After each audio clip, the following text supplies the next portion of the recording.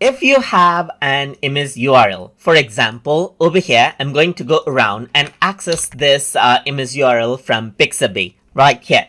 So I have this image URL as you can see, and if I were to go around and copy this, then what you can do is you can go around and insert that image directly onto your blog post by using that image URL.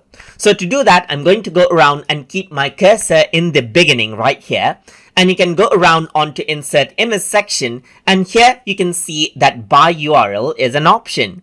If you were to go around and click right here, then you can go around and paste this image URL right here, just like this.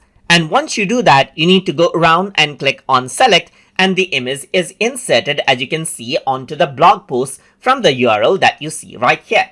And that is how you can go around and insert out image URL. That is, uh, you can insert out images from URL directly inside of uh, uh, Blogger. So hope you guys learn something as always.